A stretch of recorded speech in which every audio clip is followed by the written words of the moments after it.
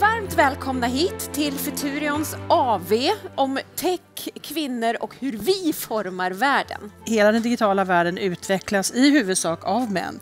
Jag har träffat så många introverta, duktiga utvecklare som gör fantastiska saker men som inte kan prata om det. De kan inte förmedla det, de kan inte förklara det. Girls uh, don't want to make mistakes, so then they gravitate towards the thing that they know they will excel at. In the case of boys, oftentimes parents like get a tutor because they think, oh, my child has to do really well. But if it's a girl, then oftentimes parents uh, just accept it. Det här är någonting som jag kämpar med otroligt mycket. Jag har pluggat matte vid Cambridge. Liksom där sitter liksom Nobelpristagarna typ. Och jag känner mig helt dum i huvudet hela tiden. Betyder det att jag inte är bra på matte? Nej, det betyder att jag håller på att lära mig nattar.